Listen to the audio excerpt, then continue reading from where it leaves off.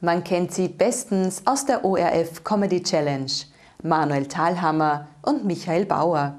Jetzt waren die beiden Comedy-Shooting-Stars in Vösendorf zu Gast, um ihr Programm Am Boden geblieben zu präsentieren. Also bitte, bitte, bitte nicht trennen.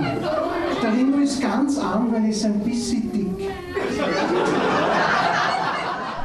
Comedy Challenge belegten sie Platz 1 und 2 und nun wollen die beiden weitermachen. Aber die vermeintlichen Weltstars sind angekommen und zwar im Alltag. Das Scheinwerferlicht ist erloschen und jetzt, jetzt warten Aufgaben wie Geschirrspüler ausräumen, Müll hinunterbringen oder Wäsche aufhängen. Es gestaltet sich ein bisschen holpriger als ursprünglich geplant. Ja? Ähm, darum geht es ein Stück weit. Über das Scheitern ein bisschen, über Erfolg, über Erwartungsdruck.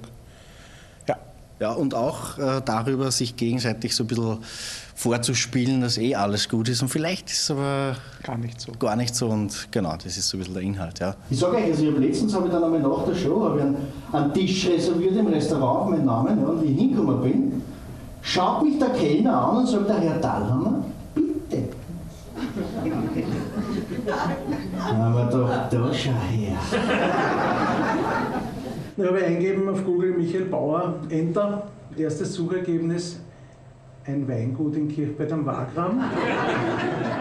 Das Stück heißt am Boden geblieben. Würden Sie sagen, dass Sie nach dem Erfolg bei der Comedy Challenge tatsächlich am Boden geblieben sind? Ich kann es jetzt nur für den Manuel beantworten. Er hat mir nach der Show das Du-Wort entzogen und wir sitzen uns jetzt wieder. Also von ihm kann ich es absolut nicht sagen, dass er jetzt äh, nicht abgehoben wäre. Er ist, er ist vollkommen im Höhenflug. Ja. Ist aber auch zu Recht, muss ich sagen, weil ich habe es ja auch gewonnen, diese Show. Als Zweitplatzierter ist es natürlich logisch, dass man da ein bisschen am Boden bleibt. Und es ist eigentlich auch, also wir treffen uns eigentlich nur zum Spielen und gehen dann wieder, ja. jeder steigt in seinen Jaguar ein und fährt heim. Und ich habe auch gar nicht seine Handynummer. Also ja. ich habe weder die Telefonnummer, ich weiß auch den Nachnamen, habe ich auf den Plakaten erst gesehen. Ausgetragen wurde die Veranstaltung im beeindruckend aussehenden 2021 eröffneten Kulturgewölbe im Keller des Schlosses Vösendorf. Was macht das Ambiente, die Atmosphäre hier aus? Ja, ich finde, die Bilder sagen eh schon alles. Jeder, der reinkommt, sagt, wow, so ein cooles Gewölbe, diese unverputzten Wände. Ähm, und dazu haben wir es halt ausgestattet mit modernster Technik. Auch da hören, hören wir viel Wow von den Künstlern, die kommen und sagen, wow, ist ja alles da. Ich stecke an und spiele von den Musikern. Oder wir haben einen super Techniker, unseren Tristan Braunsteiner, der ist einfach wirklich ein Goldstück. Da sind auch alle immer ganz zufrieden. Also ja, wir bemühen uns sehr und hoffen, dass die Künstler es schätzen und wir hoffen auch, dass es das Publikum schätzt und annimmt weiterhin. Es trudelt.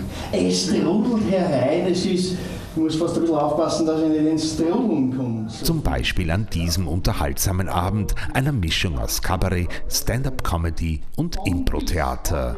Wann und wo kann man sie demnächst wieder live erleben? Uns zwei gemeinsam kann man direkt hier wieder erleben am 29. April. Also schnell sein mit den Karten. Premiere ist schon ausverkauft gewesen nach kurzer Zeit.